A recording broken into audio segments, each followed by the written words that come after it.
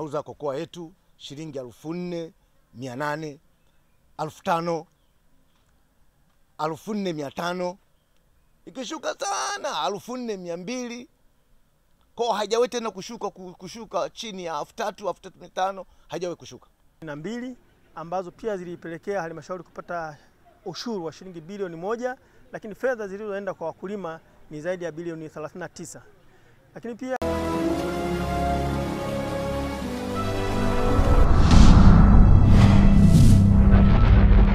Gani mpenzi mtazamaji wa Busokero TV, karibu katika makala yetu ambayo leo itaangazia namna ya mfumo wa stakabadhi ghalani ulivyowanufaisha wakulima kokoa mkoani Mbeya. Kutokana na kuongezeka kwa mahitaji na matumizi ya chokoleti duniani, wakulima wa zao la kokoa katika wilaya za Kyela na Rungwe wameanza kufaidika na soko la zao hilo baada ya kuanzisha kwa mfumo wa stakabadhi ghalani ambao unatajwa kuleta neema kwa wakulima hao.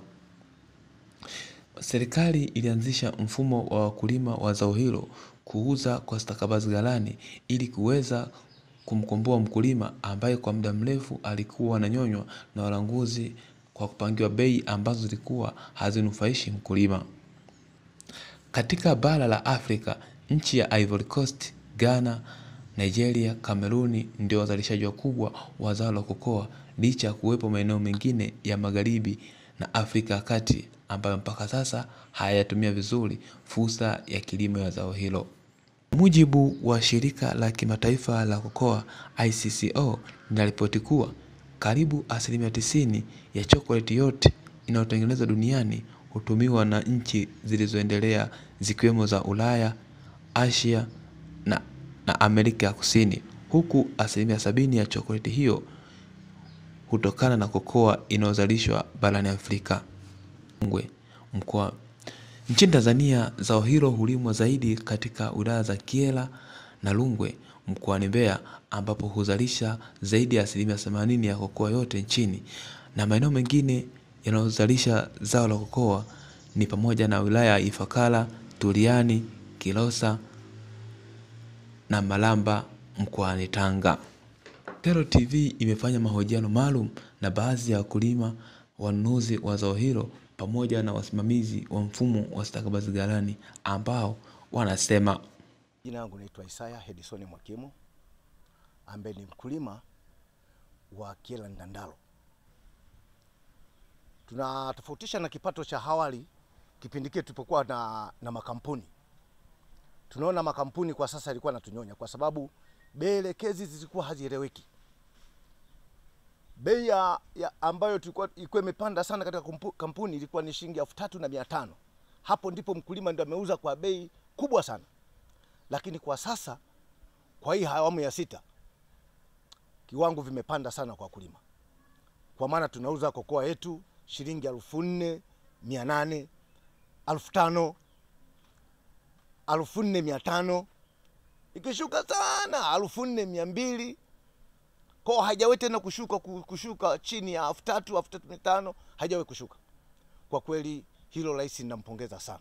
jina langu naitwa Kenneth Nzirano, afisa kilimo wilaya ya Kyela. Kipindi cha mwaka mmoja tumefanikiwa kuuza kakao katika ghala kwa mfumo huu wa stakabadhi ghalani takribani uh, kilo elfu nane na mia nne tisini na mbili ambazo pia zilipelekea halmashauri kupata ushuru wa shilingi bilioni moja, lakini fedha zilizoenda kwa wakulima ni zaidi ya bilioni 39. Lakini pia katika mwaka huu tumeendelea kusimamia uh, uzalishaji wa zao la kakao kwa maana ya kuongeza miche ambayo inaenda kwa wakulima. Tumezalisha jumla ya miche 36 ambayo tumeisambaza kwa wakulima wetu ili waweze kuongeza na kupanda kwenye maeneo mbalimbali ya halmashauri yetu ya wilaya ya Kyela. Kwa jina naitwa kama Lazaro Hamisi Masika, meneja wa ghala, pia ni meneja wa kampuni ya Matlink General Supply ambao tunasimamia gala la Kieku hapa Kyela mjini. Sisi tunasimamia usimamizi wa stakabazi galani kwa wilaya ya Kyela. Sisi tupo Kyela mjini, kampuni ya Matlink. Tumeanza kazi rasmi tarehe kumi na saba ya mwezi wa kwanza mwaka huu, unamaanisha tulipokuwa tunaanza changamoto ulikuwa mzigo ni kiasi kidogo, lakini kadri tunavyokwenda ukilinganisha wiki la kwanza ambao tulianza kazi rasmi tulianza tarehe ishirini kupokea mzigo ya mwezi wa kwanza, tulianza na tani tano kupokea mzigo, lakini kadri tunavyokwenda mbele mpaka kufikia wiki iliyopita Alhamisi ya tarehe 31 tumepokea kiasi cha tani 46 mpaka sasa. Kwa hiyo ina maana uzalishaji unaongezeka kutoka tulivyoanza mwezi wa kwanza mpaka leo hii, na kwa kipindi hiki tupo katika low season. Kwa hiyo tunatarajia tunavyoendelea mbele ikifika peak season kuanzia mwezi wa nne huu katikati, mzigo utakuwa umeongezeka ambapo itaenda mpaka tani zaidi ya tisini hadi mia kwa wiki. E, kwa majina naitwa Zengo, ni mrajisi msaidizi wa gari la ushirika mkoa wa Mbeya, na nitazungumzia kwa kifupi e, namna gani manufaa tulionayo kupitia mfumo wa stakabadhi ghalani lakini ambao ni unaendeshwa e, kupitia vyama vyetu vya ushirika pia. E, kama unavyofahamu kwamba baada ya zao la kakao kwa mkoa wa Mbeya kuingia katika mfumo wa stakabadhi ghalani e, vyama vyetu vya ushirika vimekuwa vikisimamia hilo, lakini hata hivyo e, tangu walipoingia mwaka elfu mbili na kumi na nane e, ambapo ukiangalia e, katika suala la bei, bei kabla ya mfumo ilikuwa ni elfu moja mia tano mpaka elfu mbili mia tano lakini sasa hivi bei imepanda, ambapo e, kwa sasa hivi kwa kipindi ambacho tulifanya mnada e, wiki hii ni bei imepanda mpaka shilingi elfu tano na mia nne na sitini kwa kilo. Kwa hiyo utaona ni namna gani mfumo huu unavyokuwa e, una- unasaidia. Unafanyaje kazi? Ni kwamba mkulima anapeleka kakao yake katika chama chake cha ushirika cha msingi na atapatiwa stakabadhi yake, lakini wakati huo e, ndani ya hiyo wiki akishakusanya mzigo wake unapelekwa kwenye ghala kuu kwa ajili ya mnada. Na namna gani ambapo tumeona manufaa haya si kwa mkulima tu, lakini pia hata kwa serikali. Hapo awali ilikuwa ni vigumu kupata takwimu zilizo sahihi za mauzo ya kakao, lakini kwa sasa hivi kwa sababu tunatumia mfumo e, wa stakabadhi, maana yake ni kwamba ili mzigo uweze kuja kwenye mnada ni lazima e, uwe umeingia kwenye mfumo ambao una, e, una, una, unasimamiwa na bodi ya maghala, kwa maana ya kwamba takwimu zinatoka kule, hivyo mzigo unapokuwa ghalani ndio unaingizwa kwenye kwenye mnada. Kwa hiyo takwimu zinapatikana kwa urahisi, lakini zenye usahihi pia. E, jambo lingine ambalo pia serikali inanufaika nalo kupitia huu mfumo e, ni kwamba e, imekuwa ni rahisi kukusanya mapato kwa sababu takwimu kama ziko vizuri, basi unaweza kufanya hata reconciliation ya mapato ambayo yanatakiwa kukusanywa hasa katika hizi halmashauri zetu. Lakini pia e, mfumo huu una manufaa pia hata kwa wanunuzi. E, kipindi kile cha nyuma ambacho tulikuwa tunatumia mfumo wa stakabadhi, kwa maana kwamba ilikuwa ni ununuzi holela, kwamba mnunuzi afike aende akamtafute mkulima wapi alipo na aweze kuchukua kakao yake na amlipe.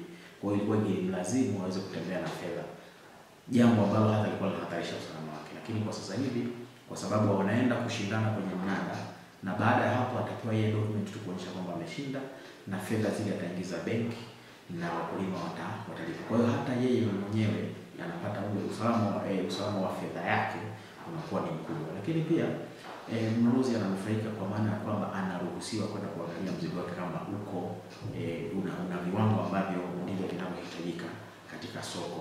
Kwa hiyo inakuwa ni rahisi kuliko vile alivyokuwa akienda moja kwa moja kwa mkulima. Kwa mzigo anaokuta huko ghalani, lakini pia hata uko e, muda ambao angeutumia wakati wa kukusanya ule mzigo unakuwa umepungua. Tanzania inaweza kufaidika na zao hilo kwa sababu ni nchi pekee ya Afrika Mashariki ambayo hali yake inaruhusu kulima zao hilo katika baadhi ya maeneo nchini.